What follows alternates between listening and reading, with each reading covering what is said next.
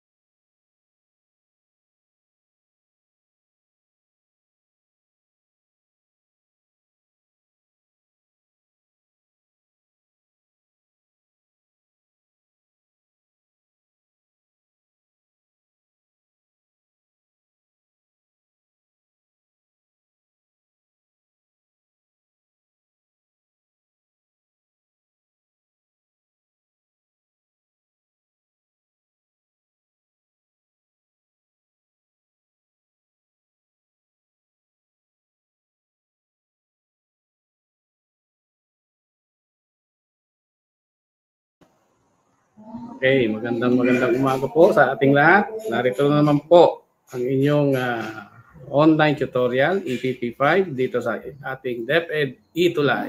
Okay. Ako po ang inyong magiging tutor sa mga ito, si Tutor Ronald.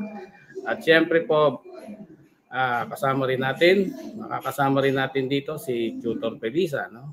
Okay. So, Bago tayo magsimula, uh, atin munang batiin ang ating mga early viewers, si Sara Marie Marantal. Okay, good morning sa iyo, Iha. Si Anaya Venice mula dito sa Pinaod Central School sa San Ildefonso, Bulacan. Siya kabilang sa section SSE as grade 5. At ang kanyang advisor na si Ma'am Jenter. Ma'am Jenter, good morning po sa iyo. Okay, so batiin din natin si Pay Paula Calixterio. Si uh, sino pa ba ang ating mga si ayun si Arian uh, Jimeno Saiko good morning sa iyo sa inyo mga bata okay welcome sa ating uh, another episode ng ating Itolay online tutorial okay so Uh, sa ating uh, pagsisimula sa, para sa umagang ito, ang ating pag-aaralan. Okay, sa EPP5 Home Economics pa rin po tayo. Uh, may topic na pagpaplano at pagluluto ng masustansyang pagkain ayon sa budget ng pamilya. Yan. So, tu- uh, uh, tuturuan namin kayong uh, plano, uh, mag, uh, magluto, uh, kung kaya, ng mga masusustansyang pagkain. Siyempre, depende yan sa ating budget. Okay? Sige po. So, ano po ang ating magiging uh, uh, objective sa pagkakataong ito? Ito ang ating magiging most essential learning competency na isasagawa ang pagpaplano at pagluluto ng masusust, uh, masustansyang pagkain mula sa almusal, tanghalian, hapunan, ayon sa budget ng pamilya. Okay? Uh, good morning kay uh, Daniel Brent San Diego. Okay? Yan. So, simulan na po natin. Okay? Pero siyempre, uh, mga bata, naalala niyo ba yung ating uh, three, uh, yung ating mga food groups, di ba? Ayan. Meron tayong Go Foods, Grow Foods, at saka Glow Foods. Okay. Ang gagawin lang natin, uh, tutukuyin natin ang mga sumusunod na pagkain kung saan pangkat sila nabibilang. Okay? So, ayan, meron tayong tatlong basket. Ayan. Pwede nyo akong uh, unahan, no? Kung alam niyo yung tamang sagot. Okay, so ready na po ba kayo? Kayo po ba handa na? Oh, good morning kay ano ha, kay Lian Galang, no? Kita ko dito. Pinao, taga Pinao din siya. Okay? Yan. Sige, kung kayo handa na, okay? Atin na pong simulan. Okay. Good morning, John Robin de la Cruz. Dennis Borongan. Good morning sa iyo. Okay? Yan. Ang una nating uh, sasagutan, ayan. Kung nakikita ninyo yung nasa box, ano? Saan kaya yan na uh, kabilang? Yan ay kanin, ano? Rice. Kabilang ba yan sa tiyatang na Go Foods? O kaya ay Grow Foods? O kaya ay Glow Foods? Saan kaya yan, mga bata? Okay. Sige, kung ka, kayo'y handa na, no? O, pwede na kayong magano. Sabi ni Pay Paula Calixterio, ito yung sagot niya. Very good. Okay? Go Foods. Okay? Yan. Siya kabilang sa tiyatag na Go Foods. Okay, next po. Ayan, itlog. Okay, saan kaya kabilang itong uh, pagkain ito? Ito pa ay sa Go Foods? Ito ba ay sa Grow Foods? O ito ba ay sa Glow Foods? So, tama rin sila John Robin de la Cruz Cagina. Sabi niya, uh, Go. Okay. O, ito naman, yung pangalawa. O, saan kaya ito? Kung ang inyong sagot ay Ayan. O, si, Ayan. Grow food, tama ang inyong sagot. Okay? So mamaya malalaman natin kung bakit sila kabilang dyan sa mga food group na yan. Ano? Sige. Next po. Yan. Ah, ito kayang uh, cabbage, repolyo. Saan kaya ito kabilang mga bata? Okay, may sumagot na kanina. Sabi ni, uh, balikan ko lang, ano? Kasi may nauna na kasi kanina eh. Sabi ni Shanaya, ito daw ay, tingnan natin. Okay, glow food. Glow foods. Okay, kabila siya sa sinatawag na glow foods. Okay, tama. Very good. Okay, uh, next po. Ang susunod natin ay oh, si Pay Paula Calixterio. Ganun din ang sagot niya. Yan. O, next po. Yan. Bread, tinapay. Okay? So, saan kaya kabilang na food group yung uh, bread? O yung tinatawag na tinapay na yan, ano? O, sige, ano sa tingin ninyo? Saan kasi siya kabilang? Okay? Okay. So, ang tamang sagot dyan ay yan. Kabilang siya sa Go Foods. Okay, tama na naman si Pay Paula Perin Calixterio. Okay, very good. Okay, next. Meron pa ba? Ah, meron pa. Ah, ito, tingnan niyo to, no? Bangus o isda, no? Saan kaya kabilang yan, mga bata? Go, grow, o glow? Yan. So, sige, tingnan natin kung uh, ah, masasagot ninyo ito, no? Okay. Uh, sabi ni Daniel Brent San Diego, ito ay kabilang sa Grow foods. Okay, very good. Okay. Ganon din si Pay Paula, tama rin siya. No? Uh, next. Ayan. So ito yung mga food groups, no? Pinag-aralan siguro ninyo to no kayo grade 4, ano? Alam ko natatandaan ninyo kaya tama ang mga sagot ninyo eh, di ba? Okay. So yan yung uh, kabilang sa tinatawag na food pyramid, di ba? Okay. So sila ay mayroong fats, okay? Tataglay sila ng fats at saka ng siyempre carbohydrates. Okay. So saan kaya Saan kaya mapapakinabangan yung fats at carbohydrates na yan? Di ba pagbibigay ng enerhiya no? o energy? Okay, kabilang din dito sa food group yung tinatawag na grow foods. Okay? Ito yung uh, karne, karne ng uh, manok, yung isda at saka isda, tapos yung itlog. Sila naman ay mayaman sa tinatawag na protina. Okay? Na alam natin na important 'yan sa pagbibuild ng ating mga tissues o mga muscle natin ano? Yan sila responsable okay, sa ating muscle build-up. Okay. Next naman ay siyempre hindi mawawala yung mga glow foods na yan. Okay, mga prutas, gulay, mayaman sa iba't ibang uri ng vitamina at mineral. Okay, siyempre uh, yung mga vitamina kagaya ng vitamin C, no? Present yan sa mga citrus na pagkain eh nakapag-prevent minsan ng ano eh, ng um, sipon na, di ba, sipon, di ba? Sa, sabi nga nila, pag kayo nagkakasipon, nagkakaubo, minom ka ng maraming juices. Ha? Fruit juices. Okay. Makakatulong kasi yan. Okay. Minerals at iba iba pang klase ng mga magagandang bagay para sa ating katawan. Uh, next. Ang tatalakayin natin ngayon, mga bata, uh, paano ba ang, ano ba yung mga dapat nating tandaan sa paghahanda ng pagkain, no? Okay, kung ready na ba kayo, mga bata? Handa na ba kayo? Yan, yan ang ating katanungan. Ano ba dapat nating tandaan sa paghahanda ng pagkain? Okay? Sige. Ito na.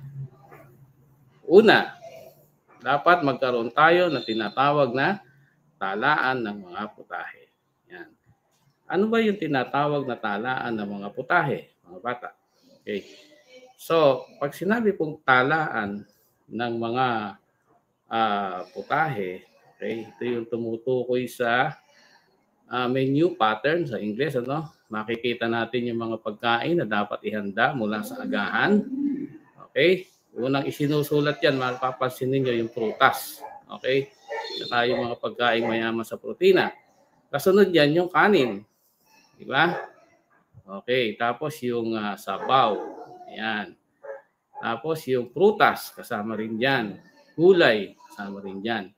Sa madalit salita, magagamit natin ito sa paghahanda. Okay? Ngayon din ang mga kagamitan natin sa pagluluto. Okay, tinitingnan din natin yung mga napapanahon na sangkap. Di ba? Na kailangan natin sa ating pagluluto. Okay, yung mga bata, meron ba kayong ganyan sa bahay? Di ba? Kailangan, uh, kasi nakakatulong din yan para kumbaga, mabawasan din yung uh, oras natin. Ano? Kumbaga yung nakakatipid tayo sa oras. No? Hindi na tayo yung mag-iisip pa kasi sa dami ng ating ginagawa minsan, di ba? Kung idadagdag pa natin yung pag-iisip ng ating mga kakainin, eh medyo sabi nga eh nakakapagbigay ito ng ano, stress, no? Okay, pero kapag ka ikaw ay may talaan ng putahe, makakatulong sa iyan. Okay? Sige. So tandaan ninyo ha. Okay. So kung makikita ninyo, may mga oras pa yan. Okay mula alas sa umaga, mula alas 5 hanggang alas 9 ng umaga. At ang tanghalian naman mula alas 11 hanggang alauna ng hapon. No? At ang atin namang uh, hapunan mula alas 5.30 ng hapon hanggang alas 10 ng gabi. Okay. So sa mga nakikita natin, ano? Ayan. Alam na natin kung ano yung ating ihahanda. Okay po ba? Sige. Next.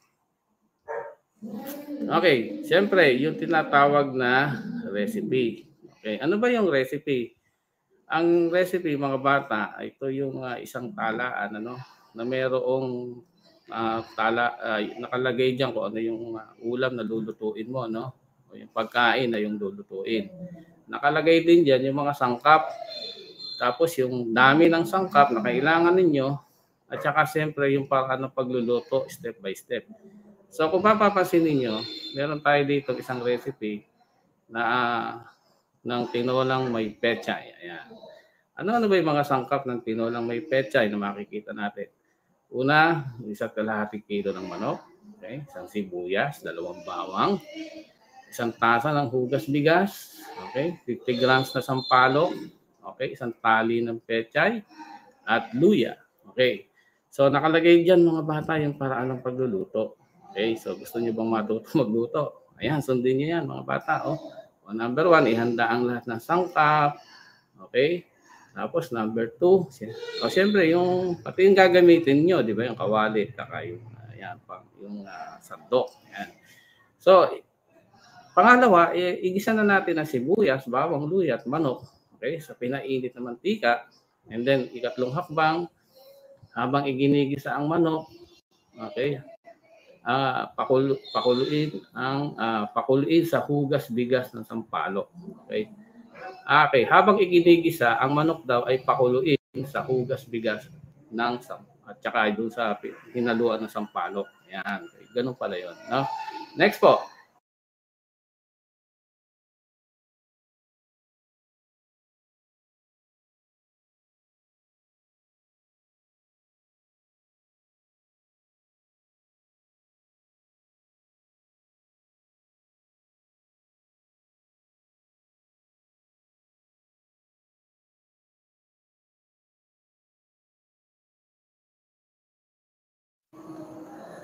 Okay po. Next.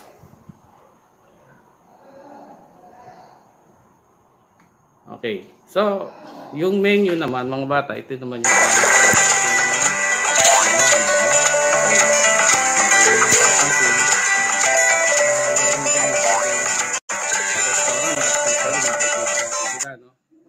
Okay, yung mga menu na yan. Tapos, siyempre, uh, yung talaan na yan, um, makakapamili ka, no? Kung ano yung iyong uh, pwedeng uh, uh, kainin, di ba? Okay, ano-ano ba yung mga sustansyang makukuha natin sa pagkain? Okay, ito yung ating food pyramid. Okay, natin mapapansin niyo mga bata. Okay. Sa food pyramid natin, kung mapapansin niyo sa bandang ilalim, no? Mas nakararami yung tinatawag na carbohydrates. Okay? So, yan yung uh, tinatawag na Go Foods. Bakit Go Foods? Kasi ang dulot nitong mga pagkain na to ay enerhiya sa ating katawan. Ang carbohydrates po ay nagbibigay ng enerhiya sa ating katawan, nagbibigay sa atin ng lakas. Okay? So, ano-ano ba yung mga pagkain na yan? Pangunahin na dyan yung kanin. Tapos yung uh, mga tinapay, ano? Tapos mga ilang root crops, kagaya ng kamote. Tapos yung uh, patatas, gabi, ano pa, tangi sa gabi, uh, yung uh, meron pa tayo tinatawag na ano eh, yung um, uh, sweet potato, no? Oh, tama, kamote nga. Okay. So ayan. Tapos, uh, mga bata, sa ibabaw niyan, yung pangalawang food group na mas na, sa madali salita, medyo dapat mas marami rin tayong kinakain ay itong gulay at saka yung prutas. Okay? So alam naman natin kung ano yung mga gulay at prutas na available dito sa ating lugar. Ano? Ayan. So, para saan naman yan? Siyempre, kanina sabi nga natin, vitamins and minerals, kailangan natin ng vitamina, no? resistensya. Yan, yan ang naibibigay ng mga prutas. At saka siyempre, maganda yan sa ating digestion. Di ba? Ah, mabalik ako doon sa carbohydrates, mga bata. Alam ba ninyo na sa umaga, kailangan talaga ay mas marami tayong kinakain na carbohydrates. Kasi uh, kung mapapansin ninyo, pag hindi tayo gaano nakakain ng kanin sa umaga, no? bago dumating ang alas 10, medyo manlalata ka na. Okay? So, yun yung kahalagahan ng pagkain ng carbohydrates. Okay? At yun, gayon din yung prutas, sabi ko nga sa inyo, para sa ating digestion. Okay? Next, karne. Ay tatawag na uh, grow foods, no? Andiyan yung isda, gatas, tapos itlog, Okay? O, mga meat. O, uh, kahit na anong klaseng meat. O, karne ng baka, karne ng uh, manok, karne ng baboy, at kung at iba't ibang uri ng isda. Okay? So, yan po. ah na, nandun niya sa ikatlong bahagi ng tawag na food pyramid. At yung nasa dulo, napapansin natin yung ice cream, pizza, okay? So, ano tawag dyan? Katawagan nila dyan eh, ano, mga junk food eh, no? So, kung napansin ninyo, maliit na bahagi lang dapat ang ating intake no, pagdating sa ganyan. Ibig sabihin, hindi tayo dapat, mas marami dapat ang kinakain natin yung mga nasa baba. Ano? Yan. Pero yung mga yan, ah, siguro tikim-tikim lang. Ano? Okay. So, merienda. No? Huwag natin gawing siyang ano, parang yan na yung ating mag- magiging heavy meal. No? Kasi tatandaan ninyo, yung mga pagkain na yan, kung hindi masyadong matamis, eh medyo maalat siya. Ay, hindi yan makakabuti sa ating katawan. Di po ba? Ayan. Sige. Next. Ano ba yung mga dapat nating isaalang-alang? Okay? Sa lalong-lalo na sa paghahanda natin ng ating uh, pagkain, ano? Okay. So nandito yung tinatawag na budget. Okay? Yan. Kailangan alam natin kung ano yung ating magiging budget. Okay? Oo. Yung kakayahan nating bumili ng mga kasang uh, yung mga ingredients, okay, mga pagkain, yan. Lagi actually sa doon nga sa pagka yung sumasa o sumesweldo yung ating mga magulang ano. Ah, uh, malaking porsyento ng sweldo nila talagang napupunta sa pagkain, di po ba? Yan. Okay, sabi ni Faith Agatha Kulala, yung pagkain daw ng matatamis, after ng pagkain, nakakaalis daw ng pagkaumay. Tama naman, no? Mga parang dessert, ano? Tama. Okay. So, ayan, kailangan ayon doon sa ating budget para sa pagkain. Okay, ano pa? Ang dapat nating isaalang-alang sa ating pagpaplano. Okay, yung laki ng mag-anak. Okay? Gaano ba kadami yung member ng family. So kung marami ang member ng family o ng pamilya, natural, malaki din ang budget. Di ba? Kung maliit naman, ah, siyempre maliit din ang budget. Di ba? Okay. So, eh, posible po ba, Sir Ronald, na kahit malaki ang pamilya ay makatipid pa rin tayo sa pagkain? O natatandaan ba ninyo mga bata yung tinuro namin sa inyo sa agrikultura? Kailangan natin ng kaunting diskarte. Di ba? Okay, ano yon? Okay, mag-alaga ka ng hayop, di ba? Mag-alaga ka ng manok. Okay. Mag- magtanim ka sa bakuran mo kung meron kang taniman, di ba? At bakit? Kasi ang pakinabang niyan, dagdag hindi lang yung dagdag kita, di ba? Dagdag pagkain din yan sa hapag ng pamilya. O di po ba? Okay.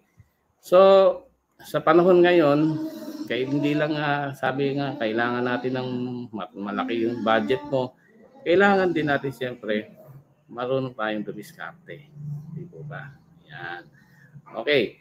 So sa ganyang paraan, ma-augment natin o masusolusyonan natin yung nga tinatawag na pangangailangan ng ating mag-anak. Okay? Sige. So sana malinaw po yan mga bata. Ano? Okay, next. Siyempre, consider din natin mga bata yung kagustuhan ng mag-anak. Yan. Ah, kasi sabi nga kanya-kanya tayo ng ano eh, ng paborito eh, di ba? May meron tayong paborito pagkain. Kayo ba kabata? Di ba may paborito kayong pagkain? Oo. Siyempre, kung ilan kayo sa mag-anak, so iba-iba tayo ng gusto.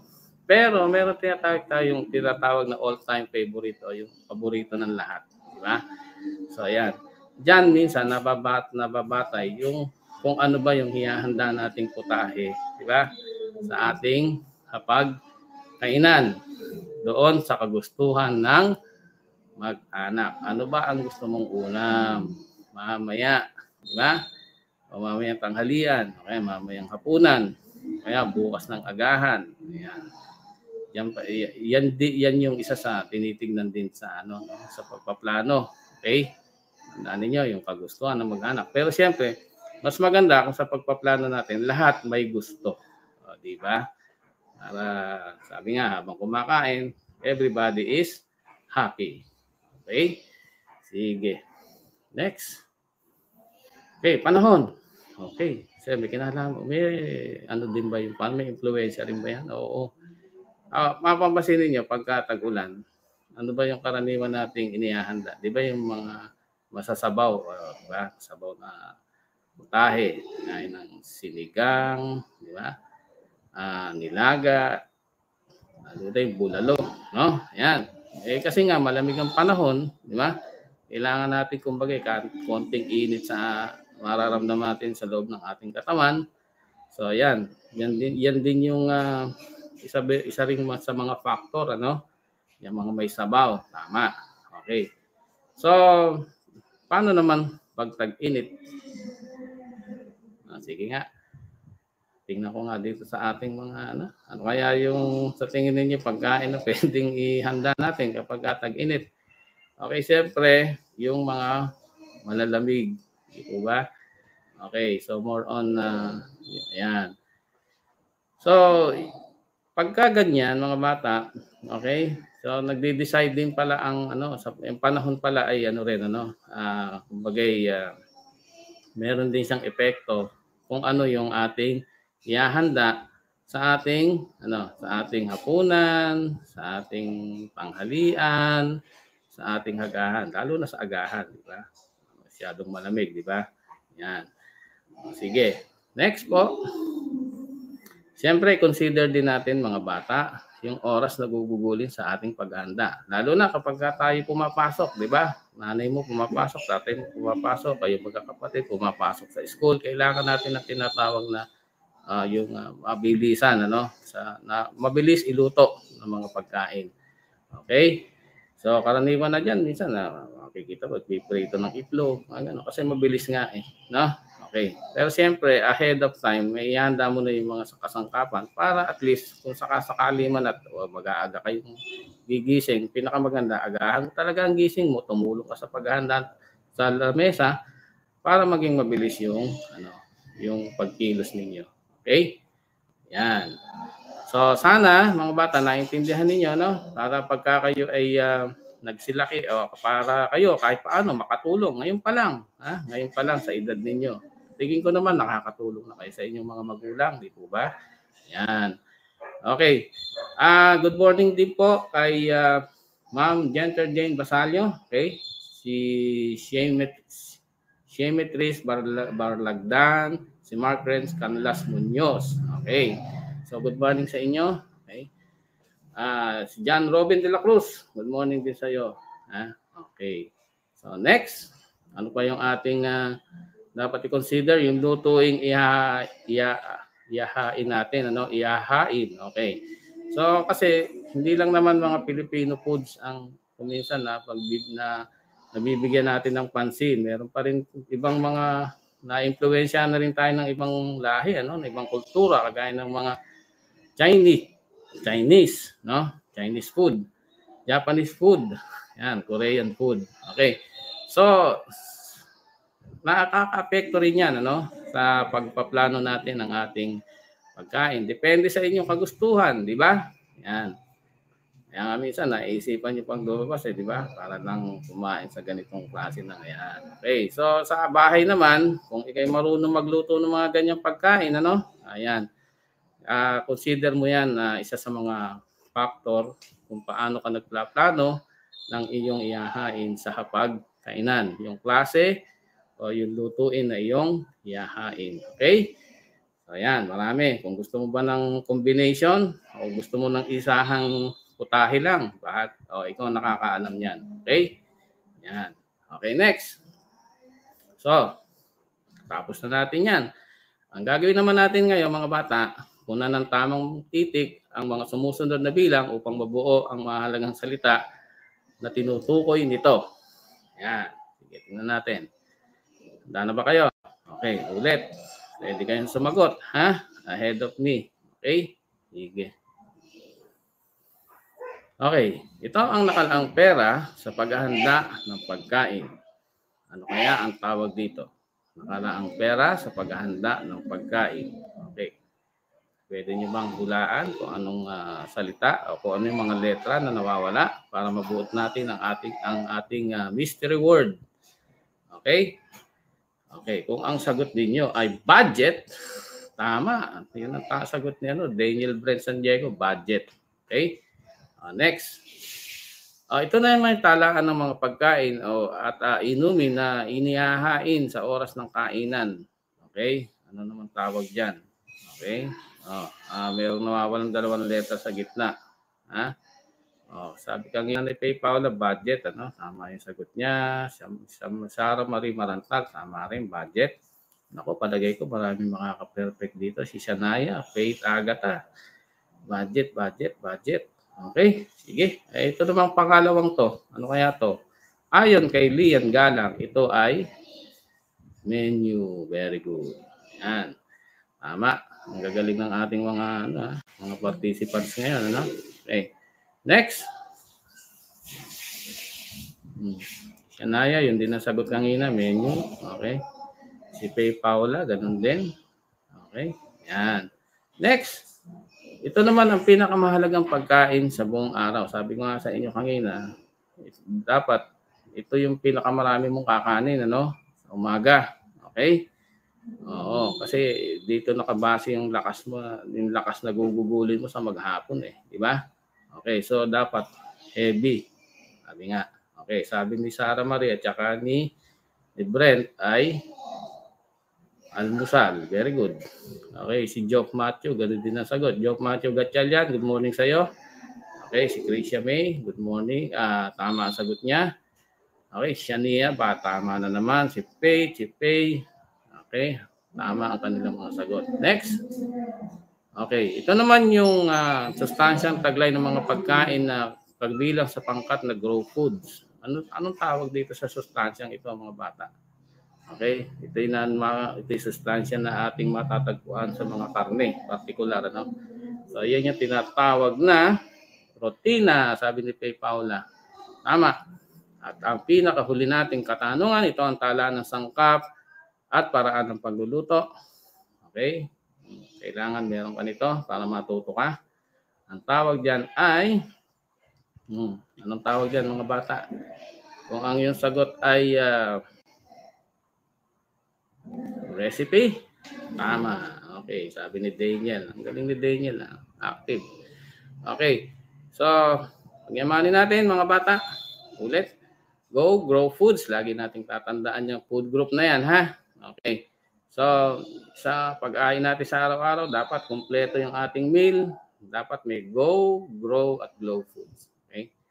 Okay. Ang wastong pagpaplano sa paghahanda ng pagkain ay dapat mong isabuhay upang sustansya ng pamilya ay manatiling matagumpay. Okay. So sana matandaan yan mga bata. Ano? Okay. At another uh, episode na naman ng ating DepEd Itulay online tutorial ang sumainyo mga bata. Okay. Ah, ako ang inyong naging uh, tutor sa magang ito si Tutor Felisa. Okay? Ay si Tutor Ronald, okay? Kasama ko si Tutor Felisa, okay? uh, kami uh, mapapanood tuwing uh, Friday morning, ano? Yan. Uh, 9.30 hanggang 10 a.m. Okay? So, yan mga bata. So, siyempre kami ang inyong uh, group, TLE group, Friday group. Okay? Mapapanood ninyo mula alas 9 hanggang alas 10, imedya ng umaga dito sa ating DepEd Itulay. Okay, online tutorial dito sa ating Facebook page sa DepEd Itulay at sa ating YouTube channel sa DepEd Itulay. So, sana huwag niyo kalilimutang i-like and share ang ating episode. Okay? At siyempre, para sa inyong mga comments and suggestion, pwede kayong mag-email sa amin sa edtech at deped.gov.ph. Maraming salamat at susunod na po, abangan na ninyo ang EPP 6. Okay? Thank you po. Good morning.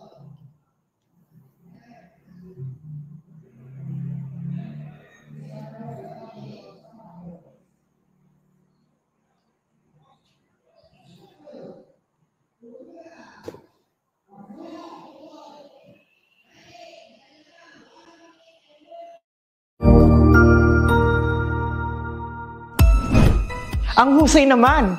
Natapos mo ang iyong tutorial session kasama ang iyong mahusay na Itulay Tutor. May bago ka bang natutuhan? ishare na yan gamit ang hashtag Itulay Level Up. Huwag aalis ha dahil may susunod pang programa na pwede mo ring panoorin at salihan dahil naghihintay na ang iyong mga tutors.